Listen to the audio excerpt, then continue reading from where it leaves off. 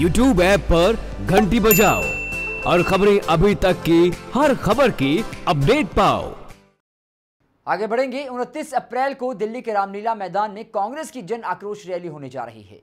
इस रैली को सफल बनाने के लिए पूर्व मुख्यमंत्री भूपेंद्र सिंह हुड्डा ने भी अब कमर कस ली है।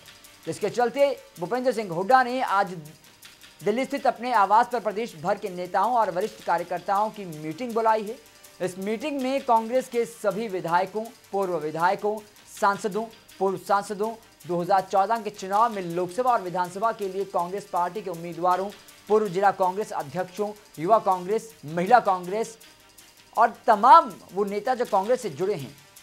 और कांग्रेस में काम करने वाले नेताओं के अतिरिक्त पार्टी के ऐसे सक्रिय कार्यकर्ताओं को आमंत्रित किया गया है जो अपने इलाके में गहरी पैठ रखते हैं। 25 अप्रैल की मीटिंग में हरियाणा के हर कांग्रेसी नेता को उसकी क्षमता के अनुसार भीड़ जुटाने की ज़िम्मेदारी सौंपी जाएगी।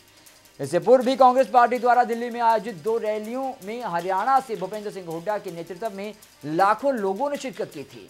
हुड्डा आजकल दिल्ली के अखिल भारतीय आयुर्विज्ञान संस्थान में भर्ती हैं और स्वास्थ्य लाभ ले रहे हैं। उनके सहयोगियों के मुताबिक उनको 25 अप्रैल से पहले अस्पताल से छुट्टी मिलने की संभावना थी और लेकिन आज जो है हुड्डा ने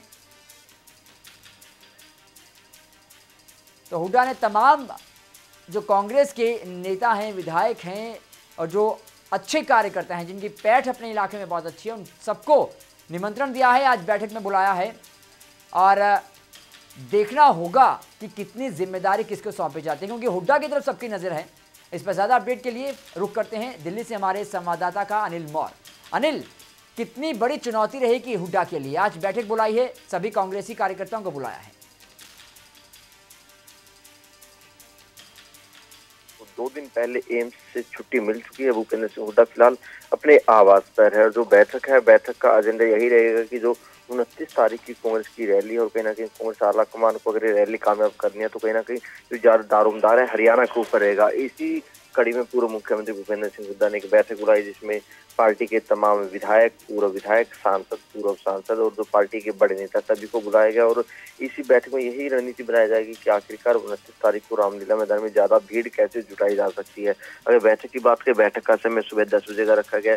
भूपेंद्र सिंह हुड्डा के आवास पे बैठक हुई हुड्डा गुट के तमाम बड़े नेता यहाँ पे मौजूद रहेंगे। और कहीं ना कहीं अगर हरियाणा कांग्रेस की बात करें अशोक तंवर किरण चौधरी कुमारी शैलजा रणदीप सुरजेवाला भी कहीं ना कहीं अपने तरीके से अपने समर्थकों को रैली के लिए न्योता दे रहे हैं। भूपेंद्र सिंह की बात करें भूपेंद्र सिंह हुड्डा कई दिन से अस्वस्थ चल रहे हैं। उनकी गैर मौजूदगी में दीपेंद्र हुड्डा रैली के लिए न्योता दे रहे आज भूपेंद्र सिंह हुड्डा की तरफ़ से ये पहली बैठक बुलाई गई और इस बैठक में पार्टी के तो तमाम नेता इस बैठक में शिरकत करेंगे। उनकी यहाँ पे बाकायदा जिम्मेदारियाँ लगाई जाएगी। जी अनिल जिम्मेदारियाँ लगाई जाएँगी सभी जो बड़े नेता हैं, चाहे अशोक तंवर है, भूपेंद्र सिंह हुड्डा है, सुरजेवाला है या फिर किरण चौधरी है, सभी तैयारियों में लगे हैं ताकि जो रैली है वो सफल हो सके।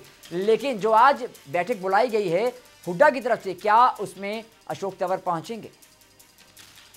देखिए, अमूमन हरियाणा कांग्रेस की अगर बात करें, जिस मंच पर अशोक तंवर, किरण चौधरी होते हैं, वहाँ पे भूपेंद्र सिंह हुड्डा नहीं होते, जहाँ पे रणदीप सुरजेवाला होते हैं तो दूसरे नेता नहीं होते, और वहीं भूपेंद्र सिंह हुड्डा की तरफ़ से जब बैठकें बुलाई जाती है तो ज़्यादातर जो तो दूसरा खेमा आता है हम बात करें किरण चौधरी अशोक तंवर, कुमारी शैलजा, रणदीप सुरजेवाला, वो गैर हाजिर रहते तो ऐसे में यहाँ भी ऐसी ही उम्मीद है कि जो हुड्डा विरोधी खेमा है, वो इस बैठक से दूरी बनाएगा। लेकिन जो भूपेंद्र हुड्डा के पक्ष में जो तकरीबन एक दर्जन विधायक इस बैठक में मौजूद रहेंगे। सांसद दीपेंद्र हुड्डा मौजूद रहेंगे। पूर्व सांसद, जो पूर्व विधानसभा और लोकसभा प्रत्याशी, पूर्व मंत्री, वो एक जो लंबी चौड़ी फौज भूपेंद्र सिंह हुड्डा के साथ हमेशा रहती है, वो लंबी चौड़ी फौज बैठक में मौजूद रहेगी।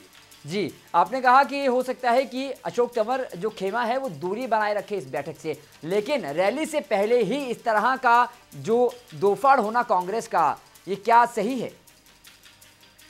देखिए, पिछले सप्ताह जो कांग्रेस की बैठक हुई थी, अशोक गहलोत की तरफ़ से, हरियाणा कांग्रेस की जो बैठक कांग्रेस वोर रूम में ली गई ली गई, जिसमें साफ़ तौर पर हरियाणा कांग्रेस के नेताओं को हिदायत दे दी गई थी कि इस रैली में कोई भी किसी तरह की कलर विशेष की पगड़ी या पट नहीं आएगा क्योंकि इससे पहले दिल्ली में जितनी रैलियाँ हुई राहुल गांधी की किसान रैली थी उसमें कहीं ना कहीं जो हुडा खेमे के जो कार्यकर्ता थे वो गुलाबी पट्टों में नज़र आए थे वहीं अशोक तंवर के जो कार्यकर्ता वो एक अलग रंग की टोपी में नज़र आए थे। तो ऐसे में कांग्रेस की तरफ़ से पहले ही हिदायत दी जा चुकी है कि कोई भी कार्यकर्ता कोई भी पदाधिकारी किसी कलर विशेष के पटके में नहीं आएगा, ना कलर विशेष का वो कोई पगड़ी पहनेगा। तो ऐसे में कांग्रेस पहले ही इस मामले पे काफ़ी सख्त रुख अख्तियार कर चुके और कहीं ना कहीं हरियाणा कांग्रेस के नेताओं की तरफ़ से भी कहा गया कि वो इस रैली में जो कांग्रेस पार्टी का झंडा है, जो कांग्रेस का पार्टी का कलर है, उसी में रंग में वो नज़र आएँगे। जी, बिल्कुल। कहीं ना कहीं जो पहले ही हिदायत मिल चुकी है, देखना होगा कि आज क्या कुछ खास रहेगा। हमारे साथ जुड़ने के लिए बहुत बहुत धन्यवाद आपका, अनिल।